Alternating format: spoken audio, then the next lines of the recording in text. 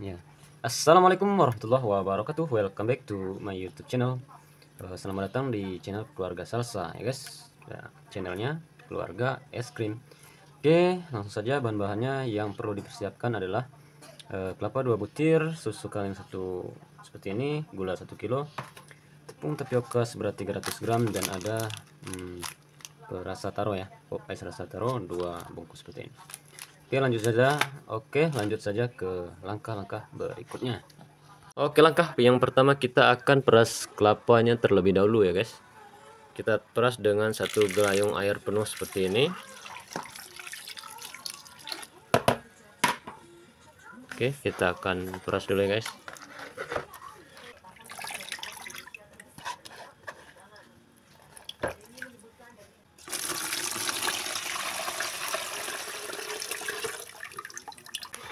ini dia santan yang sudah jadi. Langsung saja kita tambahkan 2 sendok makan garam.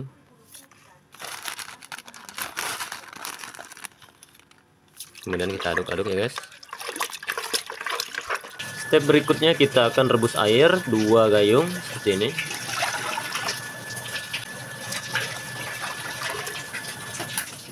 Oke guys kita rebus terlebih dahulu. Campurkan semua bahan di antaranya yang pertama tepung tapioka. Lalu kita masukkan gula. Untuk untuk takaran 1 kilo kita masukkan setengah kilo dulu ya oke.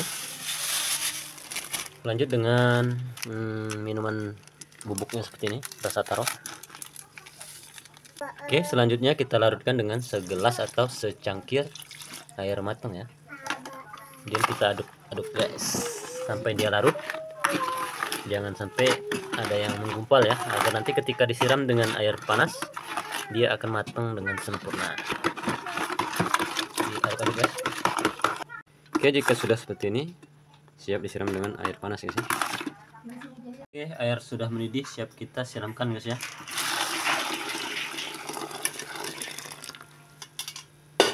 Oke langsung kita aduk-aduk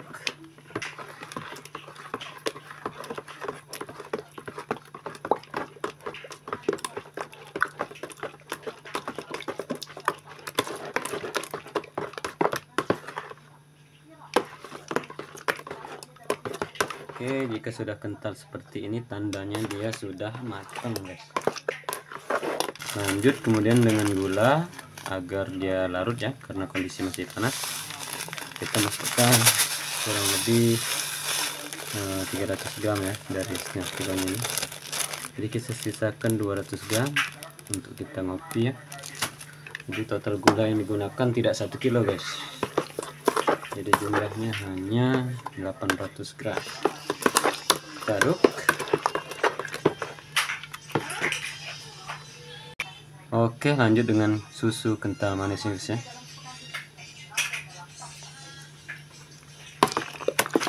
Kita aduk-aduk oke yang berikutnya kita akan masukkan santan kelapanya guys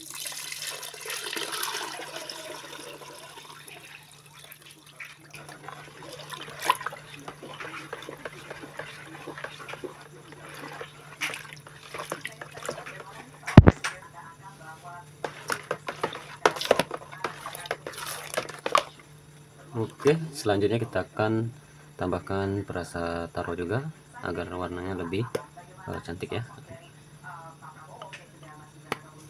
Oke, kita aduk kembali.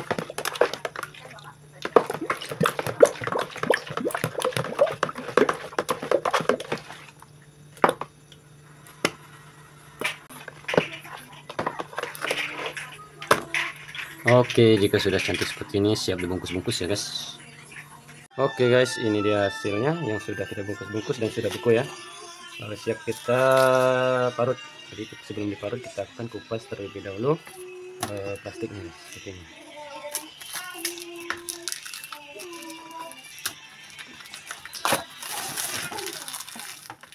Oke. Okay. Kemudian kita parut seperti ini guys ya.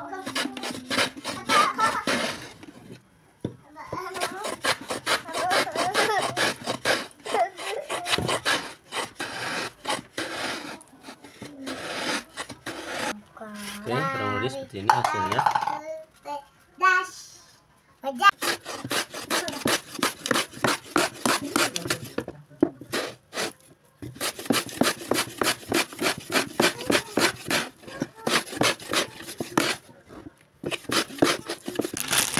Oke guys, ini dia yang sudah diparut. Kita akan aduk sebentar ya, agar dia lebih menyatu, lebih teksturnya lebih lembut.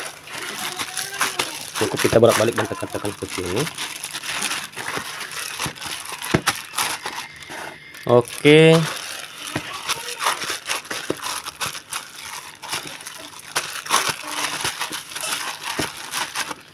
Oke, jika sudah lembut seperti ini, siap kita masukkan ke dalam tongnya ya.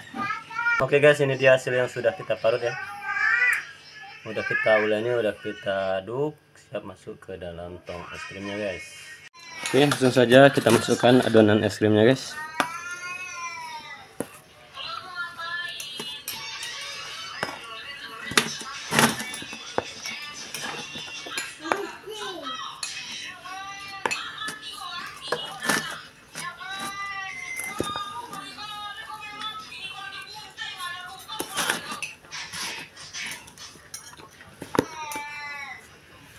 Oke, kita ratakan guys ya.